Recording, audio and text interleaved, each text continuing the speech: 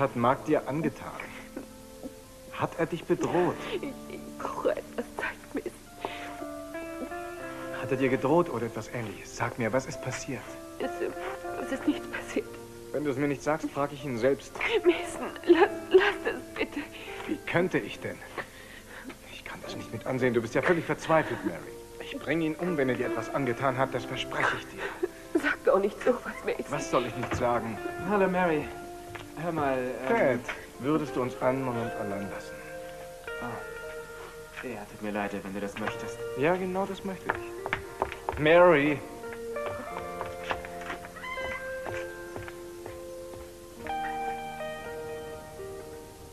Was ist denn, Liebling? Wieso weinst du? Du hast keinen Grund zum Weinen. Alles wird von jetzt an besser. Ich verspreche es dir.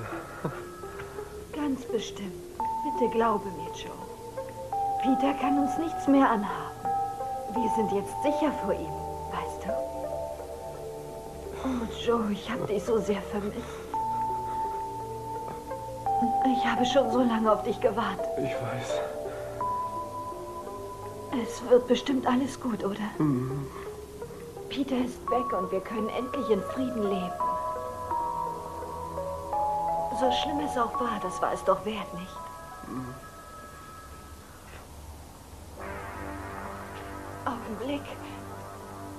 Sie sind nicht Joe. Nein. Wieso haben Sie gelogen? Kelly, ich bin's, Nick. Nein. Ich will nichts davon hören. Und ich will nicht mit Ihnen allein sein. Gehen Sie. Bitte lassen Sie mich allein. Kelly, ich bin's. Nein. Sieh mich an. So hör doch bitte, ich will dir nicht wehtun. Ich liebe dich. Ich möchte dir helfen. Bitte. Nein. Komm zurück zu mir. Nein, nicht, nicht. Nein. Helft mir. Hilft mir denn niemand. hör auf. Nein. Wiederholen Sie das, Sheriff. Ich war unten bei dem Auto. Es ist das, was auf Eden Capville zugelassen ist. Aber es ist niemand drin. Wurde sie vielleicht rausgeschleudert? Hier ist niemand zu sehen, Cruz. Aber wir haben Blutspuren im Auto gefunden. Das heißt, wer auch immer es gefahren hat, muss verletzt sein. Verdammter Mist. Bitte suchen Sie weiter. Machen wir. Ich gebe Ihnen Bescheid. Oh.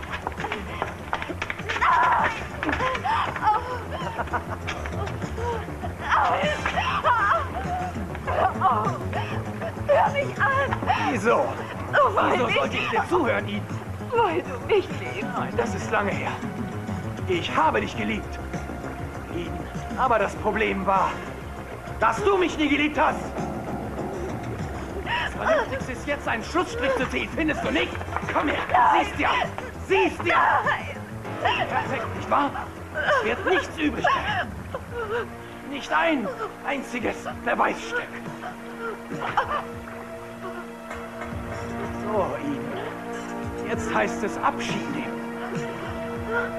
Warum hilft mir denn niemand? Ruhig, Hört Kelly, mich hör denn auf. keiner? Hilft mir doch. Ich bin's. Ich verstehe das alles nicht. Kelly! Kelly, raus. Kelly, ist ja gut. Ganz ruhig. Beruhig dich doch. Es ist alles gut. Ruhig, ruhig, ruhig. Was ist passiert? Ich weiß es nicht. Auf einmal hat sie schon mich gut, nicht mehr schon erkannt gut. und hat... Ich mach das schon. Kelly, kein Grund zur Aufregung. Du kennst mich doch noch. Justin. Ja, richtig, richtig. Bitte bleib ruhig. Das ist Nick. Du kennst ihn doch auch. Ja, ich habe ihn schon mal gesehen. Aber er war gerade noch so anders. Er, er will dir nichts tun, Kelly. Du brauchst keine Angst zu haben, bestimmt nicht. Nick sorgt sich mehr um dich als sonst jemand auf der Welt. Das ist wahr, Kelly. Das tue ich. Du hast mich belogen. Wann kommt Joe wieder zurück? Sehr bald. Was ist denn hier los? Wer ist das? Das ist Dr. Rawlings. Er ist Chefarzt der psychiatrischen Abteilung. Nur keine Sorge. Ich wünsche, dass Sie jetzt rausgehen. Beide bitte. Ja, gut. Nick? Justin, geh nein, nein, nicht. ist schon gut. Es dauert nur einen Moment. Ich warte draußen und bin gleich wieder zurück. Und ich möchte gleich mit Ihnen sprechen. Bitte warten Sie draußen vor der Tür.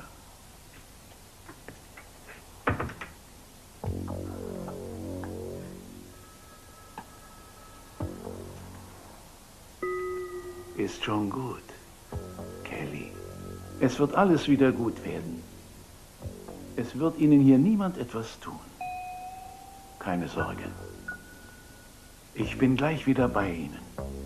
Dann werden wir uns nett unterhalten. Nur wir beide. Ja, Kelly?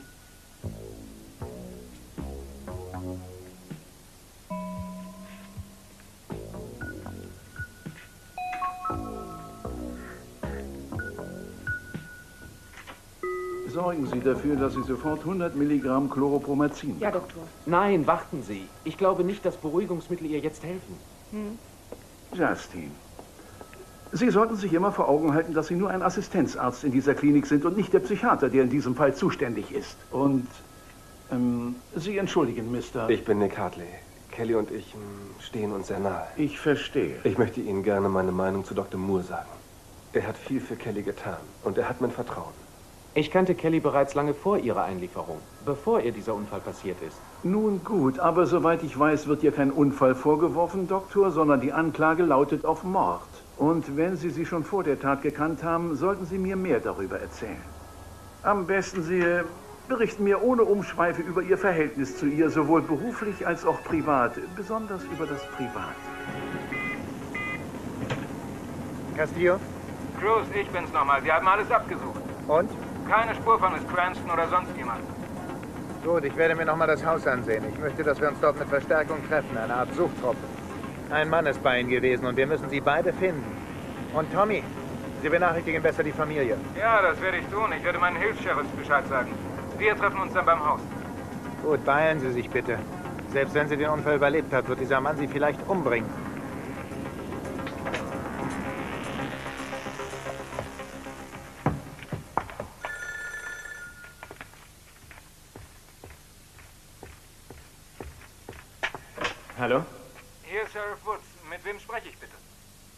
Ted Capwell. Mr. Capwell, ich muss Ihnen leider mitteilen, dass wir vor einer halben Stunde auf der Cliff Road das Wrack eines Autos gefunden haben, das auf Eden Capwell zugelassen ist. Edens Wagen und was ist mit ihr? Das wissen wir nicht, Sir. Es war niemand in dem Auto, als wir es gefunden haben. Inspektor Castillo von der Polizei in Santa Barbara hat uns gebeten, Sie zu benachrichtigen. Ähm, Moment mal, der Cruz ist auch da oben, ja? Ja, Sir, ich treffe mich gleich mit ihm in dem Haus, in dem Mrs. Cranston gewohnt hat. Okay, sagen Sie ihm, dass ich auf dem Weg bin. Ich fahre sofort los. Äh, danke für den Anruf. Ted, was ist passiert? Äh, es gab einen Unfall. Edens Auto ist gefunden worden. Sie wird noch vermisst. Ich muss Warte, los. Ted. Was? War jemand bei ihr? Nein, davon haben Sie mir nichts gesagt. Ich muss jetzt los. Äh, Wieso fragst du? Ich möchte mitfahren. Okay, dann lassen wir lieber eine Nachricht für Dad hier. Er muss unbedingt erfahren, was passiert ist.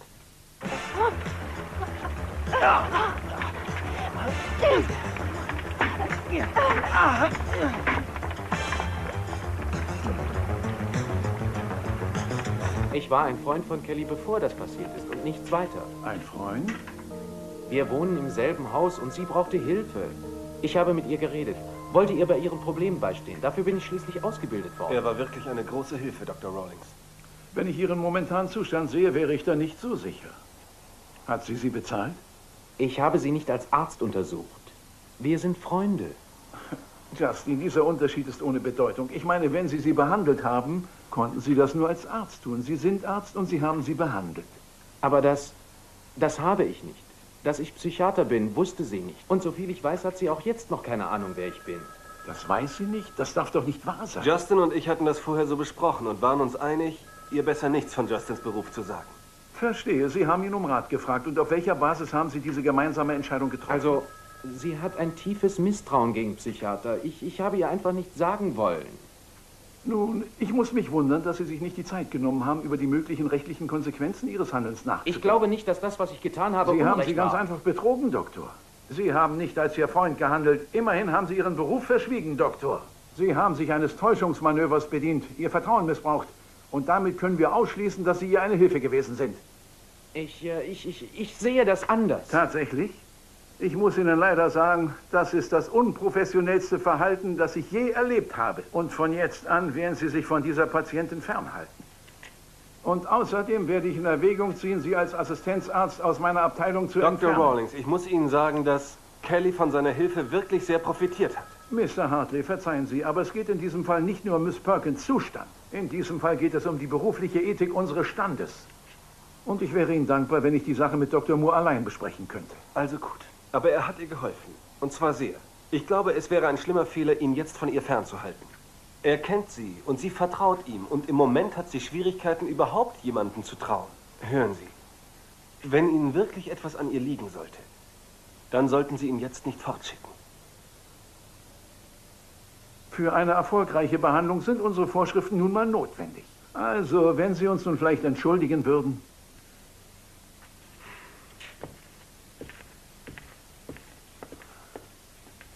Ist Ihnen bewusst, dass Sie Ihre berufliche Karriere aufs Spiel gesetzt haben, Doktor? Ich bitte Sie, ich habe doch nicht meine Karriere aufs Spiel gesetzt. Nebenbei gesagt sind Sie nur Assistenzarzt. Und Sie haben nicht die Erfahrung oder die Ausbildung für den Umgang mit Sie gemeingefährlichen ist ganz Patienten. sicher nicht gemeingefährlich. Ob Sie meine Meinung teilen oder nicht, ich kann Sie suspendieren. Ist Ihnen denn nie klar geworden, dass sie möglicherweise eine Gefahr für den Mann dargestellt hat? Natürlich war sie unzurechnungsfähig. Und ich hatte das Gefühl, dass sie vielleicht aggressiv werden könnte, aber sie nur hatten das Gefühl und haben nichts unternommen? Sie haben nicht nur ein schwaches Urteilsvermögen bewiesen, Sie haben auch noch versäumt, das Opfer darüber zu informieren, dass Ihr Patient eine Gefahr ist. Kennen Sie die Regeln von Tarasow? Ja, ja, aber... Sie sind gesetzlich dazu verpflichtet, Leute zu benachrichtigen, die einer möglichen Gefährdung ausgesetzt sind. Das können Sie aber hier nicht anwenden. Ich, ich habe in diesem Fall nicht als Ihr zuständiger Arzt gehandelt. Ich sage Ihnen doch, ich war nichts weiter als ein Freund. Ich bin nicht das Gericht, aber ich bin sicher, dass die Leitung dieses Hospitals meiner Ansicht ist, dass, falls Ihr Handeln nicht sowieso ungesetzlich war, es gegen die ungeschriebenen Regeln verstößt und eine Missachtung beruflicher Ethik ist. Das glaube ich ganz und gar nicht. Und ich möchte Ihnen versichern, dass ich niemals Kelly Capwell zutrauen würde, einen Mord zu begehen. Ich denke, dass sie von ihm zur Notwehr gezwungen wurde. Am besten vergessen wir Ihre Ausführungen jetzt für einen Moment und Sie befolgen meine Anweisung. Ab sofort werden Sie nichts mehr mit der Patientin zu tun haben. Keinen Kontakt, hören Sie? Und wenn Sie das nicht befolgen, sorge ich für Ihre sofortige Beurlaubung. Haben wir uns verstanden? Ja, Sir. Haben Sie Notizen über Kelly gemacht? Ja, selbstverständlich, Sir. Na, wenigstens das können Ach, Sie. Dr. Rawlings, hören Sie mich bitte noch einmal an. Alles, was ich getan habe, sollte Kelly helfen. Und viel wichtiger ist wohl, dass wir helfen, als auf welche Weise. Das geht ja Hand in Hand. Sie können niemandem helfen ohne die korrekte Vorgehensweise. Das ist etwas, das Sie in Ihren allerersten Lektionen gelernt haben. Aber sollten. ich, äh, Ende des Gesprächs.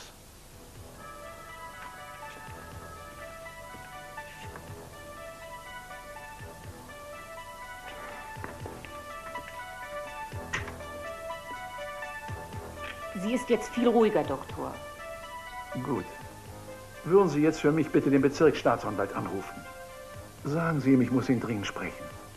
Wegen der Kelly Perkins-Sache. Bitte rufen Sie mich dann aus.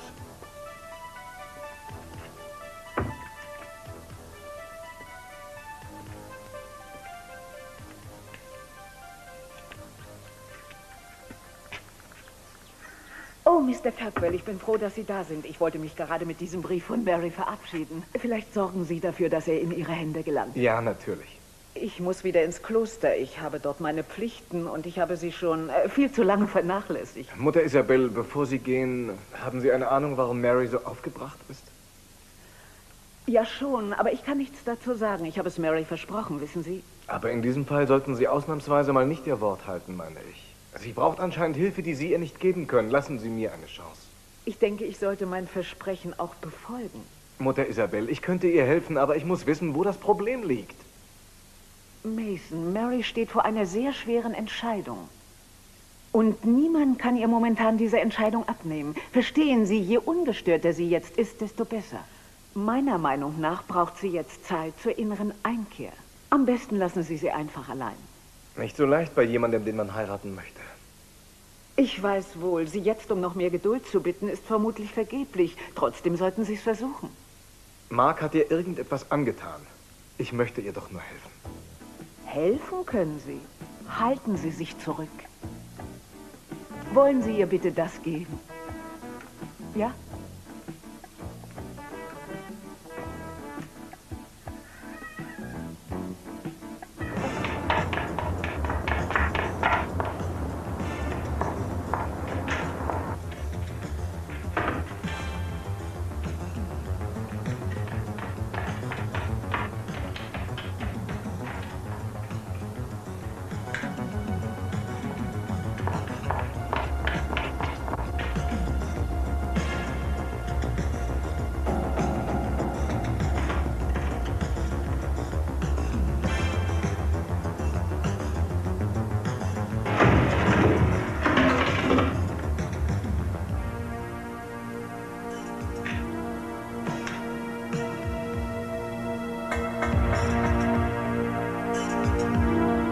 Sagen Sie, wurde hier der Wagen weggeschleudert? Genau. Wir werden die Gegend in Quadrate aufteilen und zunächst mit diesen beiden Abschnitten anfangen. Ich möchte einen Trupp für diesen Bereich. Äh, wir haben da schon überall Dann lassen nachgesehen. Sie gleich uns nochmal wir- die Gegend absuchen, Stück für Stück, das ist notwendig. Also schön, Sie schnappen sich zwei der Jungs und fangen hier an. Ich nehme mir einen und fange da an. Los, Männer, schnappt Gut. euch an Walkie-Talkie. Also, Männer, auf geht's.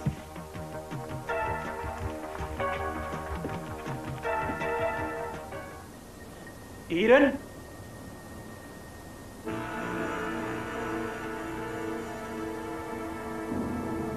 Liebling!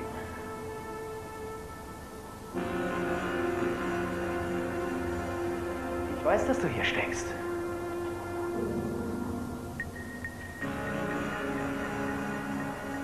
Warum kommst du nicht einfach raus zu mir?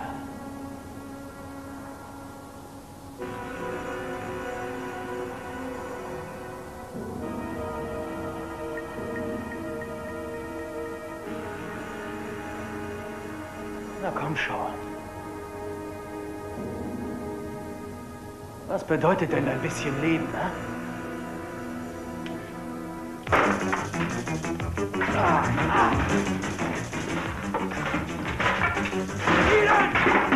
Du Miststück!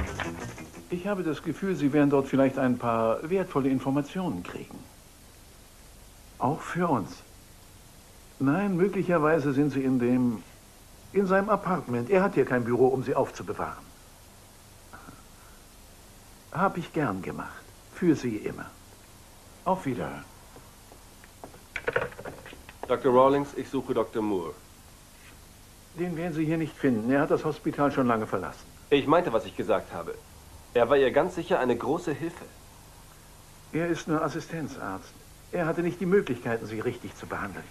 Mit Sicherheit nicht bei Kelly, die möglicherweise eine Gefahr darstellt. Doktor, wie um alles in der Welt hätte er das damals herausfinden können? Nun, es würde mich nicht überraschen, wenn der Fall vor dem medizinischen Untersuchungsausschuss enden würde. Was ich Ihnen zu erklären versuche, ist, dass bevor Justin sich eingeschaltet hat, Kelly überhaupt nicht ansprechbar war. Sie hat praktisch mit jedem, der ihr jemals was bedeutet hat, abgeschlossen. Sie hat sich von ihren Freunden abgewandt. Sie hatte furchtbare Albträume, sogar Ich Halluzinationen. habe Ihre Krankengeschichte gelesen, Mr. Hartley. Das ändert alles nichts an Dann der hat sie Tatsache. Justin getroffen. Er wohnt in demselben Haus und sie sind Freunde geworden. Und nur mittels seiner Hilfe konnten wir einen echten Durchbruch erzielen. Er hat doch offenbar bei ihr sehr, sehr große Fortschritte erreichen können.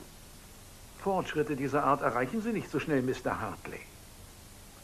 So viel ich weiß, ist bei ihr keine Besserung eingetreten. Er hätte sich lieber nicht einmischen sollen. Er hat gewusst, dass er nur unzureichend geschult ist. Dieser Fall ist ganz sicher zu kompliziert für ihn. Alle jungen Ärzte zeigen keine Einsicht, wollen gleich den Mount Everest besteigen. Doch dazu fehlt ihnen die Ausbildung. Aber ich vertraue ihm. Ich weiß, er hat ihr geholfen. Und ich weiß, was ich weiß. Zum Beispiel, dass Dr. Moore möglicherweise der Auslöser für Mrs. Perkins Zusammenbruch war, ebenso für das Verbrechen, das dem dann noch folgte. Das glauben Sie doch nicht wirklich. Oh ja, das glaube ich. Psychologie kann man nicht einfach so nebenbei praktizieren oder fahrlässig damit umgehen. Und beides hat er in diesem Fall gemacht. Ich kann Ihnen nicht folgen und offensichtlich ändern Sie nicht Ihre Meinung. Nein, Was ich nicht verstehe, Doktor, ist Ihre ganze Einstellung dazu. offensichtlich nicht.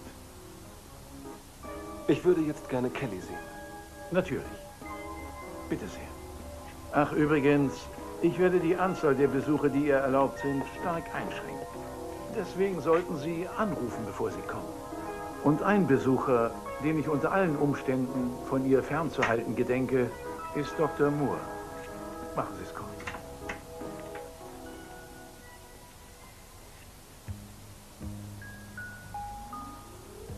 Kelly? Ich sehe, Sie fühlen sich durch die Medikamente besser. Ja, vielen Dank. Mr. Hartley möchte Sie gern für einige Minuten besuchen. Ja, gut. Hallo, Kelly. Ich werde nachher noch mit Ihnen sprechen.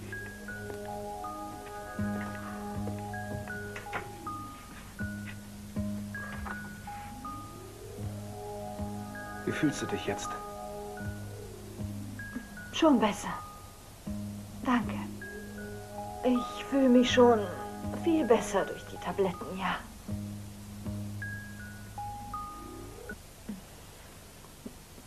bin froh, dass du dich beruhigt hast. Ich war sehr erschrocken, als du dich so aufgeregt hast. Wann war das? Als wir uns vorhin unterhalten haben, bevor Justin kam. Tut mir leid, ich äh, denke, es war sehr schwierig mit mir. Aber du hast ja schon immer gesagt, ich wäre nicht gerade sehr einfach. Du hast gesagt, ich wäre verwöhnt, weißt du noch? Oh nein, niemals. Kelly, erinnerst du dich an mich? Ja, natürlich. Tut mir leid, ich, äh, ich wollte nur wissen... Joe, ich habe so auf dich gewartet, dass du kommst. Ich habe alle hier gefragt, wie lange es noch dauert. Ich möchte dir von diesem eigenartigen Traum erzählen. Mhm. Erzähl mir von deinem Traum. Ich war in einem wunderschönen Hotelzimmer. Rosen und Champagner, nur für uns. Und ich habe dort auf dich gewartet. Wir wollten irgendetwas zusammen feiern. Dieser Mann war auch da.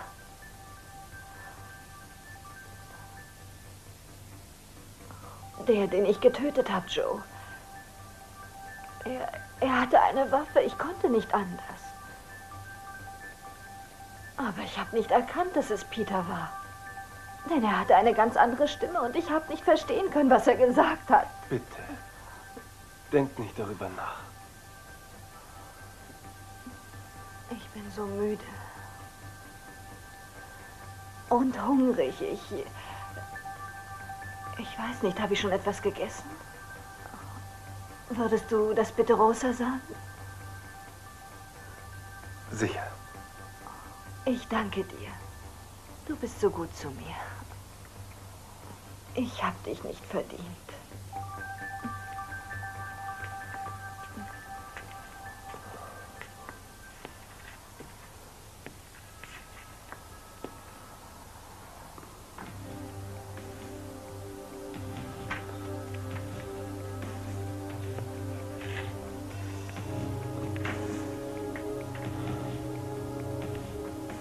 Kann es nicht ertragen, Sie so zu sehen.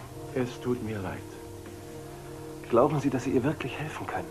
Wir können nichts garantieren, aber wir tun, was wir können.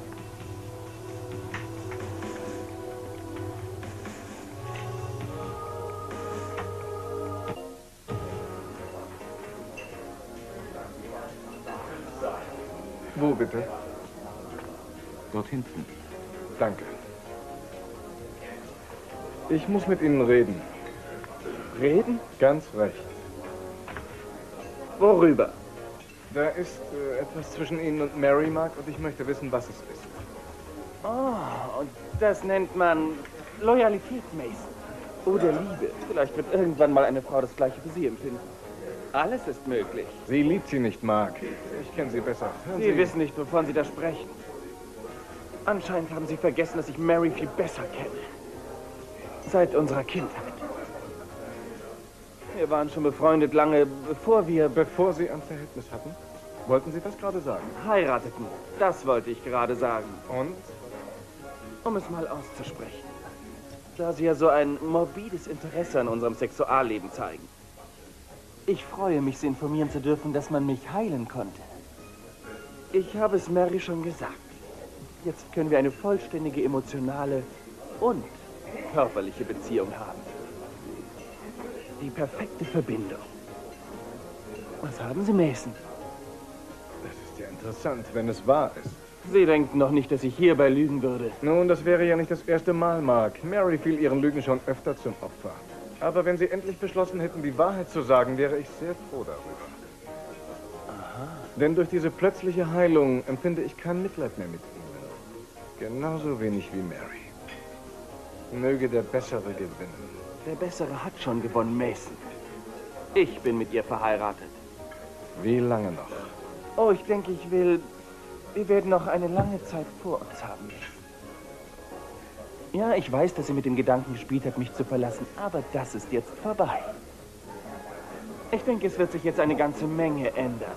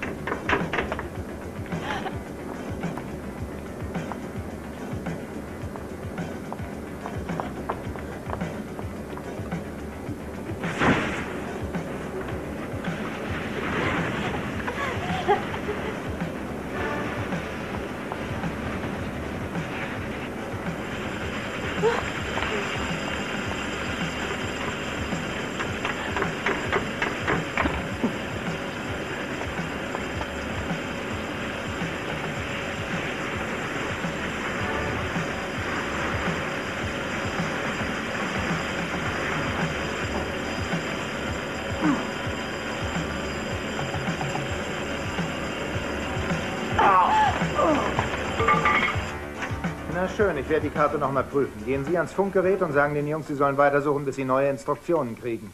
Äh, Bob, Sie suchen weiter und wenn Sie etwas finden, sagen Sie Bescheid. Das ist eine totale Pleite. Was ist das? Klingt, als käme es von unten. Wissen Sie, wo das Aquarium ist? Aqualand. Aber das ist jetzt geschlossen, da sollte nicht mal eine Aufsicht sein. Gut, ich werde nachsehen. Ich rufe Sie an, wenn es Probleme gibt.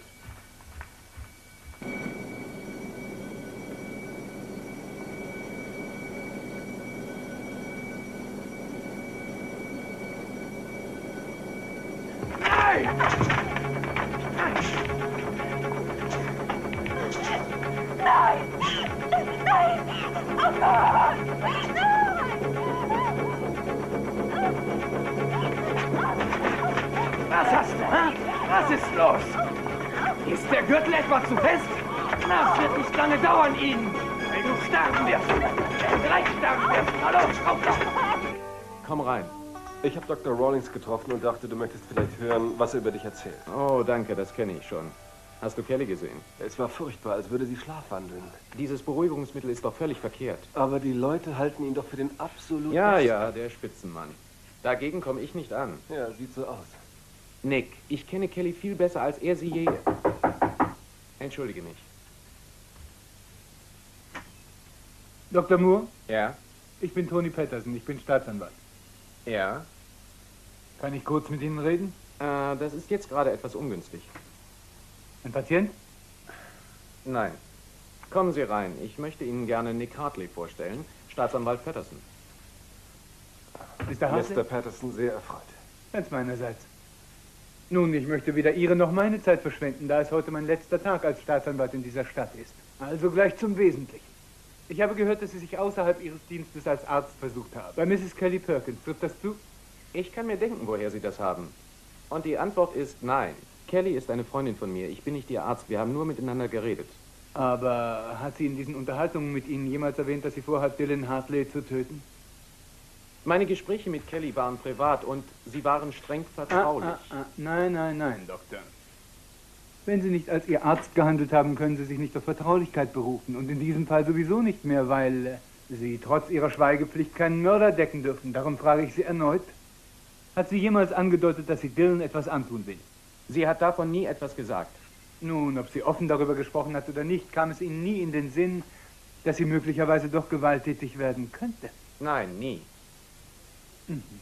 Ich habe gehört, Sie haben Aufnahmen und Notizen von diesen Gesprächen mit Mrs. Perkins. Nun, wenn darauf Dylan Hartley erwähnt wird oder Ihre Meinung über ihn, könnten diese Aufzeichnungen vor Gericht sehr relevant sein. Wie kommen Sie eigentlich zu dieser Annahme? das tut doch wohl nichts zur Sache, Oh oder? nein, das interessiert mich. Es war Dr. Rawlings, habe Nein, ich nein, recht? nein, Sie sollten jetzt nicht ablenken. Bitte? Gut. Also, ich möchte, dass Sie mir sämtliches Material aushändigen, das sachdienlich sein könnte. Und ich möchte Sie warnen. Wenn Sie sich weigern, werde ich mir einen Durchsuchungsbefehl besorgen. Und wenn Sie sich dann noch weigern, kann ich Sie auch in Haft nehmen. Meinen Sie nicht, dass ich das in Ihrer Akte sehr schlecht machen würde, Doktor? Sie können von mir aus machen, was Sie wollen. Ich respektiere Kellys Privatsphäre. Bitte. Vielleicht sollten Sie Ihrer Mutter schon ankündigen, dass Sie Ihr Studium niemals beenden werden, denn wenn ich nicht bekomme, was ich haben will, wird Sie der nächste Staatsanwalt durch den Schmutz ziehen. Mit dem Gesicht nach unten. Ich bin froh, dass du hier bist, Nick. Das klang doch wohl reichlich nach Nötigung, oder? Gut, dass wir uns verstehen. Anscheinend begreifen Sie sehr schnell. Bekomme ich das Material? Sie werden von mir nichts bekommen, was meine Freunde, meine Patienten oder sonst wen angeht. Sind Sie sicher? Völlig sicher. Gut. Ich besorge den Durchsuchungsbefehl. Und schön hier bleiben.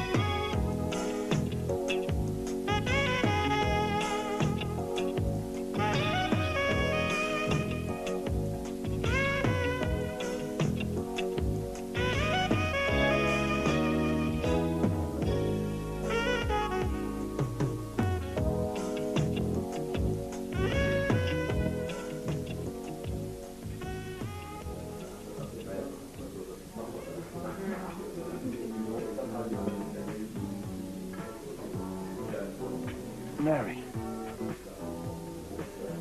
Was soll der Koffer? Ich bin mit jemandem verabredet.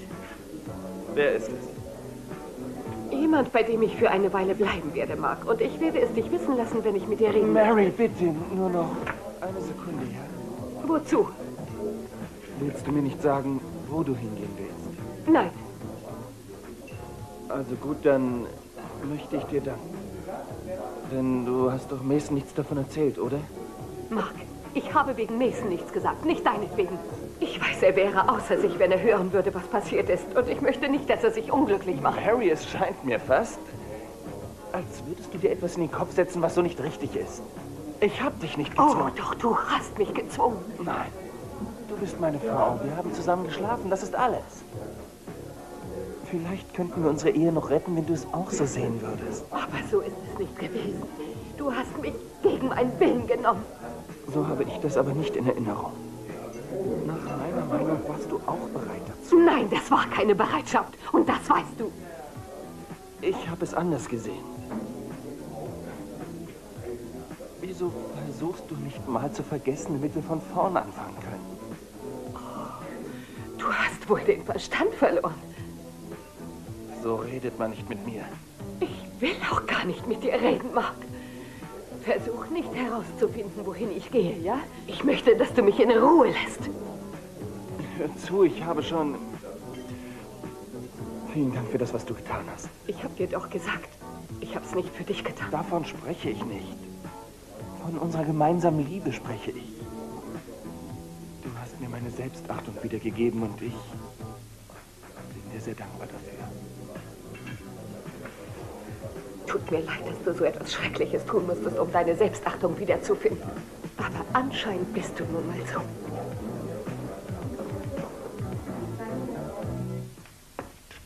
Wer sind Sie? Ich bin der Bruder der Frau, die vermisst wird. Der Sheriff hat angerufen und mich hergebeten. Der Sheriff ist im Moment nicht da. Ähm, wissen Sie vielleicht, ob man sie schon gefunden hat? Nein, aber das haben wir gefunden. Kennen Sie das? Nein, das habe ich noch nie gesehen. Ted, Was ist? das gehört nicht ihm. Bist du sicher? Ich kenne es, das gehört Gina. Wieso weinst du nicht, Eve? Ha? Willst du nicht, dass ich es höre? Bewahrst du wie immer Haltung? Das würde Cruz sicher gefallen, oder? Hab ich recht? Ja, du hast recht. Genau das. Das bin ich. Cruz wird dich kriegen und dich töten, Kirk. Wenn ich ihn zuerst umbringe? Wir haben genug geredet, Eden. Ob unsere Freunde hungrig genug sind? Sie müssen ausgehungert sein.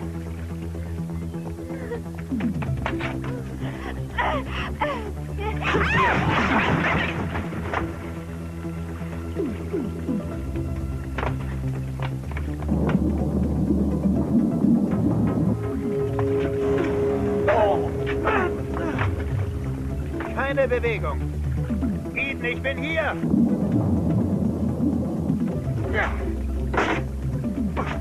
Hilfe!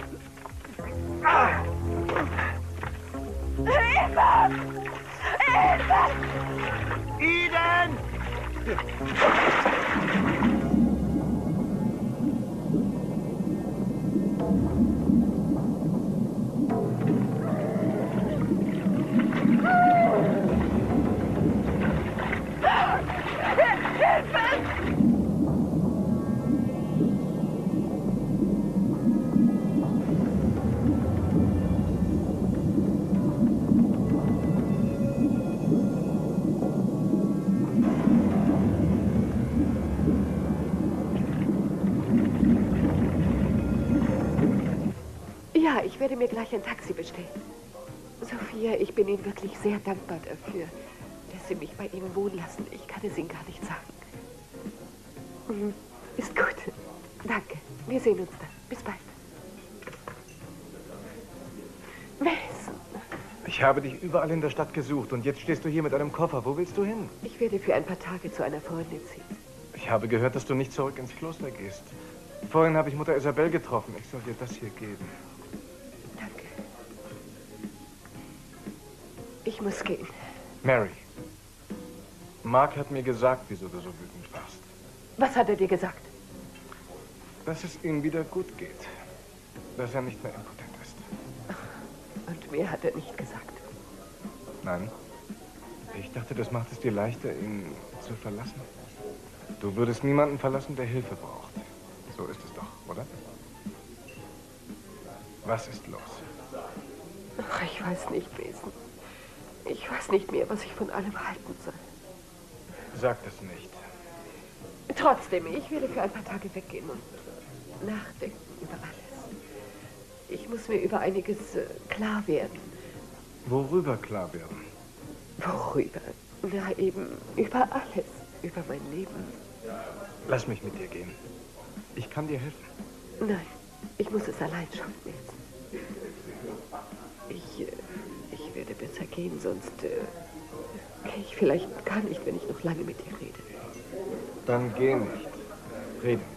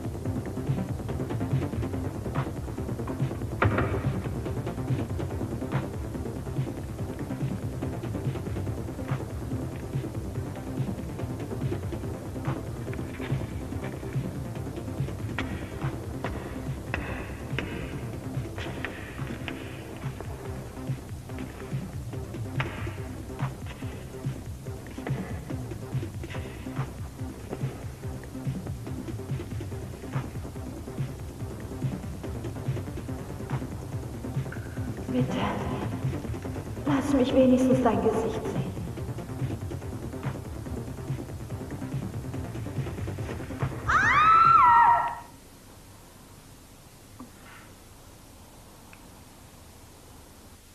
Das Schlimme ist, dass einiges auf den Bändern Kelly schaden könnte. Du willst die Bänder doch nicht vernichten, oder? Wieso nicht? Weil du sowieso deine Aussage machen musst. Du musst ihnen alles erzählen, was du über Kelly herausgefunden hast. Du wirst doch keinen Meineid leisten. Das ist doch jetzt nicht wichtig, Nick. Im Moment sind sie eine mögliche Bedrohung für Kelly. Ich will sie nur loswerden. Bist du auch ganz sicher, dass nichts drauf ist, was ihr helfen könnte? Doch, möglicherweise. Du kannst dir nicht leisten, sie zu vernichten. Denk doch mal nach. Vielleicht wirst du sie brauchen, um dich selbst zu retten. Dr. Rawlings glaubt anscheinend, dass deine Gespräche mit Kelly zu ihrem Zusammenbruch geführt Und haben. du glaubst das auch? Das weiß ich doch nicht. Was ich gesehen habe, war nur, dass, dass du ihr geholfen hast. Sie hat Fortschritte gemacht durch dich, Justin. Das ist alles, was ich weiß. Ich bin kein Psychiater. Nick, es waren mehr als nur Fortschritte. Aber was Rawlings gerade vorhat, sie mit Drogen zu behandeln, das ist falsch. Wenn er so weitermacht, kann es ewig dauern, bis sie über den Berg ist. Sie kann sich mit ihren Problemen nicht auseinandersetzen, wenn sie unter Drogen steht. Ja, wer ist da? Polizei! Dr. Moore, machen Sie auf! Wir haben einen Untersuchungsbefehl. Beeilen wir uns. Nimm die und dann raus hier. Dr. Moore? Aber was soll ich denn damit machen? Ich bitte Tu es für Kelly. Nimm sie. Los, raus jetzt. Dr. Moore, zwingen Sie uns nicht die Tür aufzubrechen.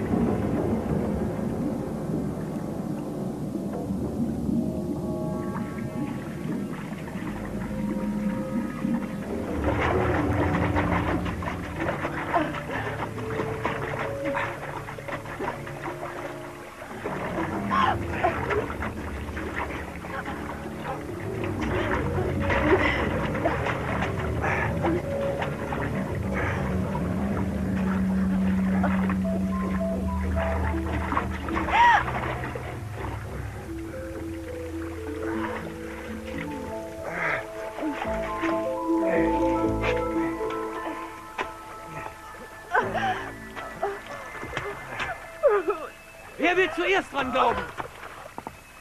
Romeo? Oder Julia?